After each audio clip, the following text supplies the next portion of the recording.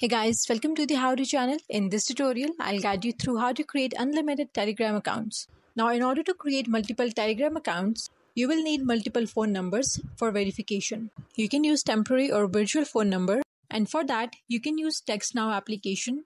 Now, what you have to do is open the Telegram app and click on the setting icon which is in the bottom right corner of the screen. Now tap on this My Profile option here you can see this edit button in the top right corner. Click on it, scroll down and you will find this option of add another account. Click on it and you will land on screen like this. Here you have to add a phone number and for that you can use that virtual phone number. So you can use TextNow application. Copy the number from TextNow application and paste it over here. After that click on continue and then you will receive a code. Enter that code and with that you have successfully created another Telegram account.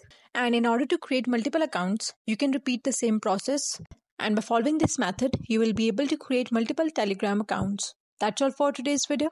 Thanks for watching and please do not forget to subscribe the How To channel.